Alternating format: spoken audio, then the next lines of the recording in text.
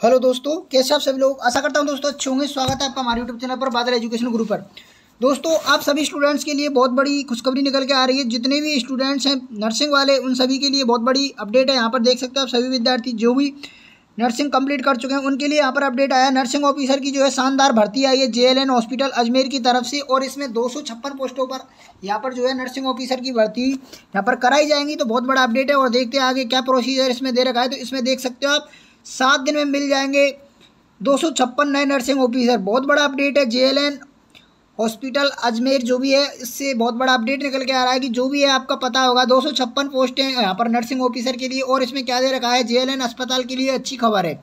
अस्पताल प्रशासन placement agency इस माह के अंत तक, कहने का तात्पर्य है कि इस माह के अंत तक, यानी उनतीस तीस तारीख तक यहाँ पर जो भी है अंत तक नई नर्सिंग ऑफिसर भर्ती का यहाँ पर वो हो जाएगा, ठीक है ना? नए भर्ती हो जाएगी यहाँ पर नए नर्सिंग ऑफिसर की और इसमें सेवेंटी फोर यानी चौहत्तर वार्ड बॉय लेने लिए जाएँगे और एजेंसी को करीब पाँच करोड़ रुपए का टेंडर यहाँ पर जारी किया गया है। एजेंसी ने एक सप्ताह का समय लिया है। एक एक दो दिन में नर्सिंग ऑफिसर के लिए आवेदन लेंगे। कहने का मतलब यह कि एक दो दिन में आपकी आवेदन स्टार्ट हो जाएँगे और यहाँ पर नेक्स्ट इसमें दे रखा है चिकित्सकों व नर्सिंग एसोसिएशन की ओर से जाँच के लिए, जाँच के बाद नर्सिंग भर्ती की जाएगी। बार्ड बॉय की भर्ती की जाएगी। बार्ड बॉय और नर्सिंग ऑफिसर दोनों की की जाएगी। दो सौ छप्पन पोस्ट तो आपको पता होगा नर्सिंग ऑफिसर की हैं और सेवेंटी फोर यानी चौहत्तर पोस्ट हैं जो भी हैं आपके बार्ड बॉय की हैं।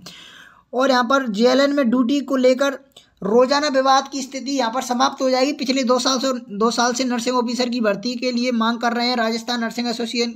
एसोसिएशन की मांगे पर आखिर सुनवाई हो रही है, ठीक है ना? अब देख सकते हैं आप, जो भी है तो सारे का सारा बहुत बड़ा अपडेट है तो यानी आप अपडेट के लिए हमारे चैनल पर बने रहें, हम आपको बता देंगे और जल्दी ही आपका इसका अपडेट निकलेगा। फॉरमों का जल्दी आपके आवेदन लिए जाएँगे।